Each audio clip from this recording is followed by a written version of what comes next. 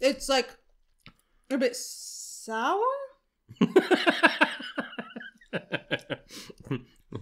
That's me you're sensing. I'm a bit sour about this whole thing. Flukey Food. so we're heading to Wendy's on 130th Avenue in Calgary. And I used to go to Wendy's all the time. And even though I used to go there all the time, I have never had a Baconator.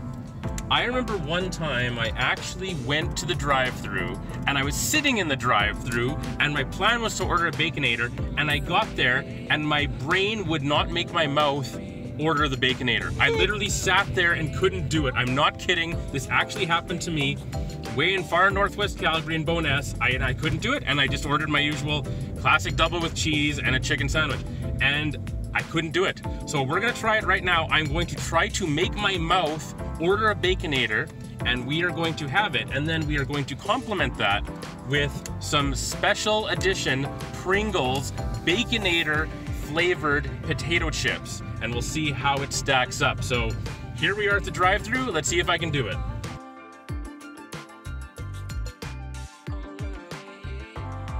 Hello, can I just get a Baconator, please? Just a sandwich? Just the sandwich by itself, that's all I need. Okay, 986, please. Thank you. Thank you. Did it. You see, growth as a person is important.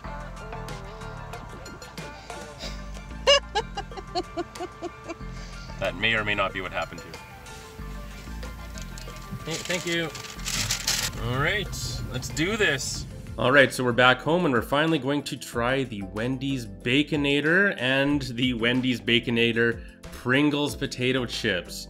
We'll see how much this tastes like this. Okay. Look at the picture of this baconator. This is absolutely not what this sandwich. Yeah, so like. this is. Are you kidding me? This is what I've been scared of for 15 years? Like, Yeah. the classic double's more intimidating than this, and I've had a million of those. Let's try it. Okay. Should we try the sandwich first or the chips first? The sandwich, because that's the imitator. All right. That's the imitator of the Baconator.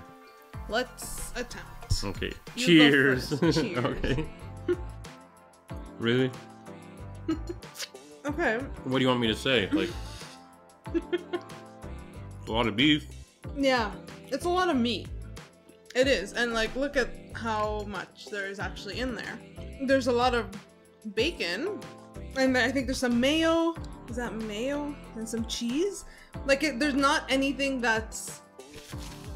Wow, I gotta have this every single time I'm at Wendy's. And this freaking thing is 960 calories. Yeah, or 920 or something. Yeah. That's insane! For one sandwich, Yeah. nothing is worth eating your whole day's calorie. Yeah, and, I, and I'd rather have the lettuce and tomato and oh, all Oh, that type of stuff as well. Definitely. So I'm sure there's a market for this. People just want like a burger with a bunch of patties and a bunch of bacon, but okay, I want another bite. And then yeah, okay, let's have the chips and let's see how how accurate. I'm gonna take another bite and see how this tastes like that. Ready for the pop? Mm-hmm. Oh, that was a good one. These are your normal average Pringles. There's nothing really. Let me smell them. Uh, yeah, there's, there's not actually any smell to them either. Smells like cardboard.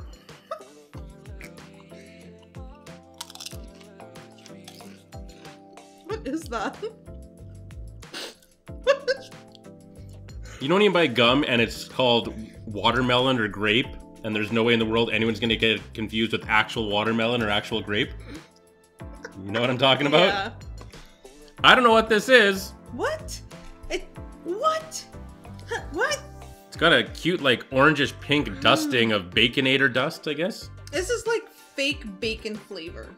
Man, I want to live in a world where when they say something is gonna taste like a bacon sandwich, it actually tastes like a bacon.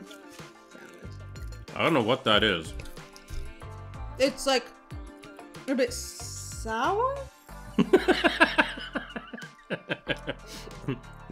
That's me you're sensing. I'm a bit sour about this whole thing.